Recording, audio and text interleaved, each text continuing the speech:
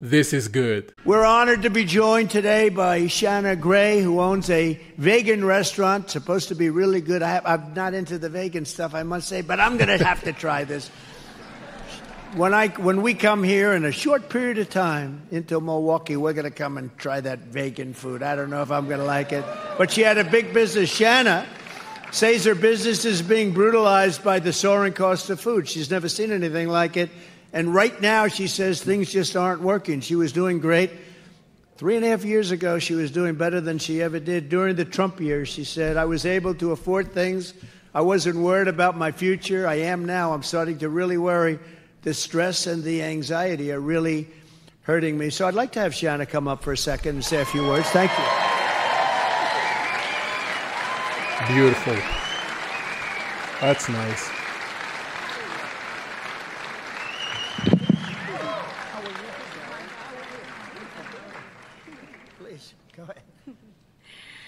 As we spoke before, um, it is very important that we change what is going on now.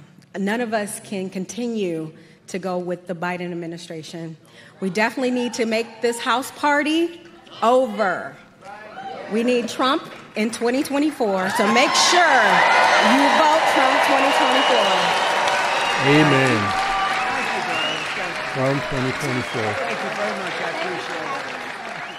Take care of mom, right? We'll get it going for you.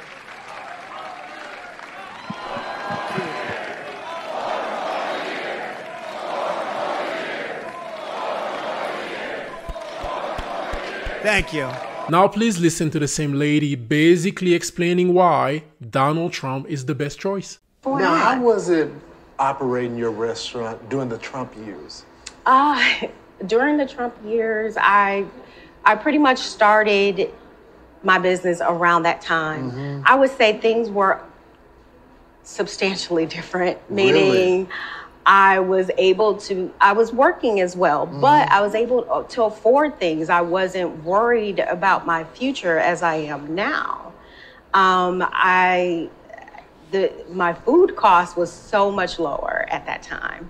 Not saying that was, that's, that's a better. That's the only issue. Yeah, but, but it was things were very much so different. What? Meaning, I didn't have the stress or the anxiety about tomorrow, you wow. know, just from eating and, you know, supporting myself. Mm-hmm. So. If you could tell the president of the United States, Joe Biden, one thing right now, Sleepy he was Joe. Like standing right in front of you, what would you tell him? Um, I would ask if you can pretty much look at the people and what's currently going on right now and how we are all pretty much we're suffering and we need help. Um, yep.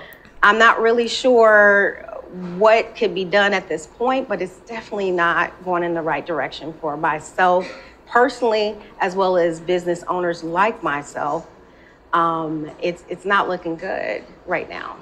Shana, thanks so much. I mean, this is common sense. During the Trump presidency, she was able to afford things like food. She wasn't worried about her future. There was no stress or anxiety about tomorrow. And guess what? I'm pretty sure Millions of Americans can relate to this lady. Those are great reason to vote for Donald Trump.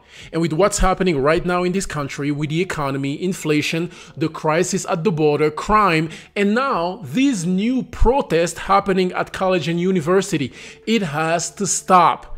We need law and order, bro, and somebody who can fix the economy like a businessman, not a career politician who's been there for over 50 years, still making promises and falling all over the place. Come on, man.